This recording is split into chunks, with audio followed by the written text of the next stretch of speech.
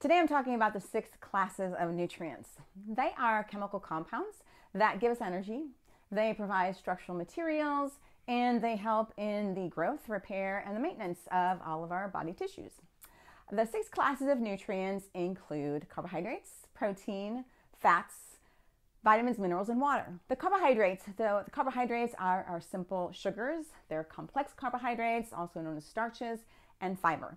Uh, carbohydrates um, break down ultimately to glucose, which gives us energy. Proteins, uh, proteins have a number of functions in the body. Uh, we'll be talking about those, but the building blocks of protein are amino acids. There are 20 amino acids that the body uses to make protein. Um, nine of them are essential. Um, in the world of nutrition, essential means something that we have to get from the foods that we eat and um, the fats. So fats um, are also known as lipids, and in the lipid family, there's actually three uh, major compounds. Uh, they include triglycerides, uh, sterols, and phospholipids. Um, the sterols, uh, the one that you're probably familiar with is cholesterol. Uh, we'll be talking about that. Um, but um, uh, the most common one, about 95% of the lipids include triglycerides. And we'll be talking the, the most about those because those are the um, are what we eat and also what we store in um, body fat.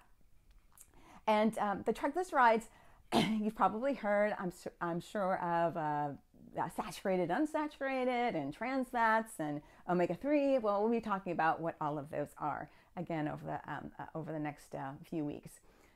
And uh, vitamins, there are 13 vitamins. Uh, they're classified as uh, water and fat soluble. Um, the fat soluble vitamins are A, D, E, and K. And the water soluble are vitamins B and C. Now, there's a number of B vitamins, um, and, um, and we'll be talking about those. Um, many of them are used in the energy pathway, so they help us um, make energy. Um, although they don't give us energy, as we um, found out in our quiz that we took on, on day one. Then uh, we've got minerals. There are 16 minerals, and they're classified as major and trace. Uh, the major minerals are no more important than the trace minerals, but they're just found in much larger quantities in the body, and our need for them is much greater. For, exa- for example, calcium is found in huge quantities in the body. Um, it's the major mineral for our bones.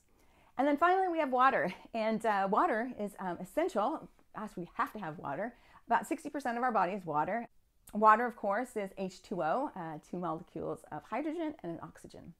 So there you have it, the six classes of nutrients. I'm going to be talking more about these tomorrow, but I promised that I would keep these videos short. So the um, six classes again are carbohydrate, protein, fat, vitamins, minerals, and water. Thanks for watching Neily on Nutrition, and we'll see you in the next video tomorrow.